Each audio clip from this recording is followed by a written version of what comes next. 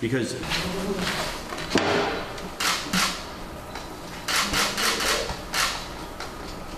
That is his high school locker.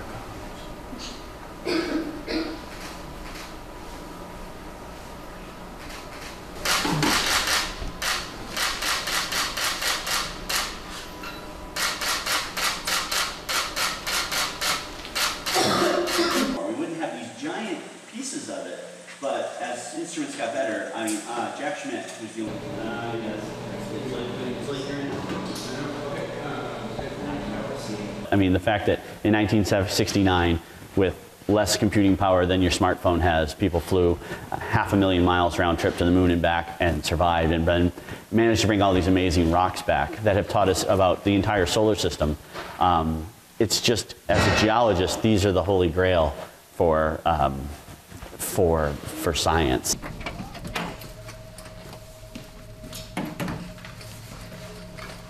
Go ahead. So yeah, so we're kind of working on this, this individual.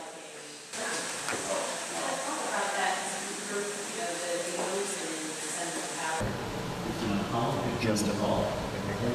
Pretty close.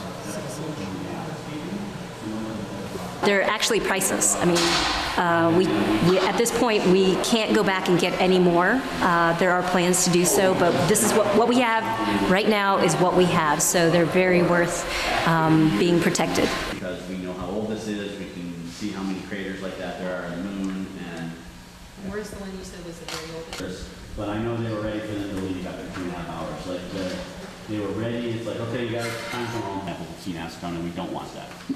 And so, and again, that was planned for by the astronauts. I'd love to see them all. Samples for more than one mission in the same cabinet. The reason we have so many cabinets is each mission gets its own cabinet. Oh. And Apollo 16 and 17 get two cabinets because they brought back half the mass. And that allows us to work on them.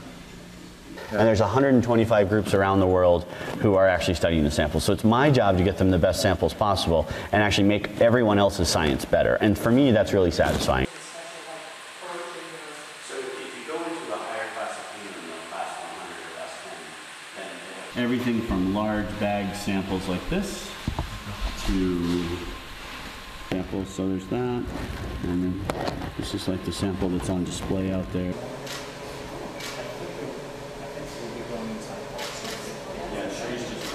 Will uh, display samples that was made from the original. gives us information on the earliest history in our solar system where that record just doesn't exist anymore on the Earth.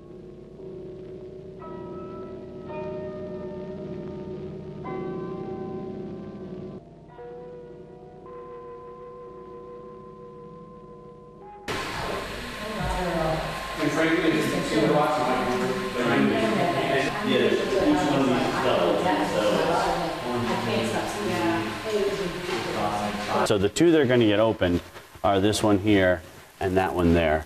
And those are both from Apollo 17. So this one was sealed under vacuum on the moon and then brought back, never opened.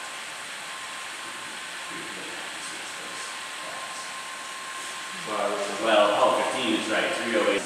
And also us about Earth, they've also taught us about the age of the surface of Mercury or Mars.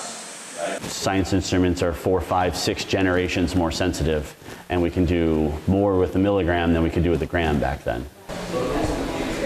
Yeah, not really. I will say, yes, we have, our time was so compressed, they didn't have time to switch. On later missions, they traded jobs. Like sometimes one person would have the camera, sometimes Each time I put my hands in the cabinet and pick up a sample, I think about, okay, this came from the moon. You know, like he would be really nice, you know, and because he came, Charlie Duke came to Apollo, uh, Washington University as when I was there. as-